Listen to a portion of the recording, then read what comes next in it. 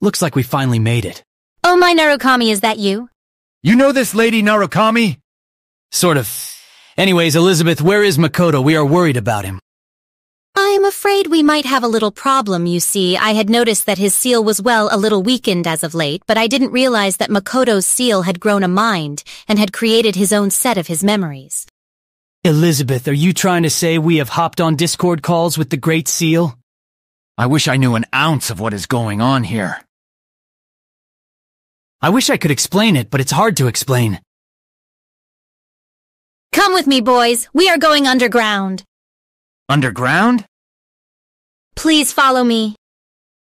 Welcome to the Abyss of Time. Are you serious? This looks like a generic desert JPEG. Anyways, Elizabeth, where can we find the door that Makoto sealed himself in?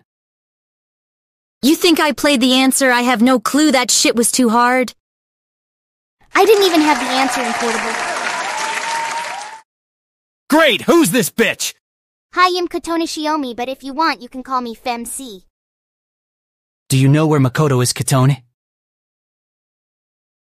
Technically, I'm supposed to be the Great Seal as well, but I guess it was rewritten.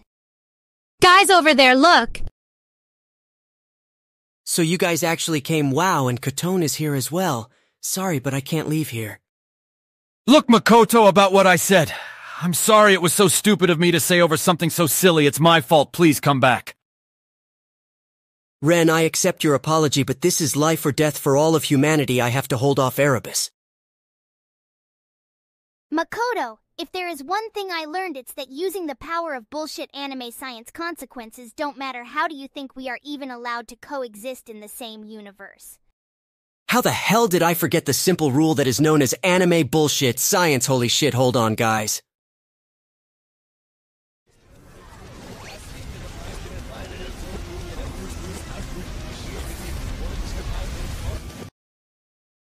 Did I do it? Is it over?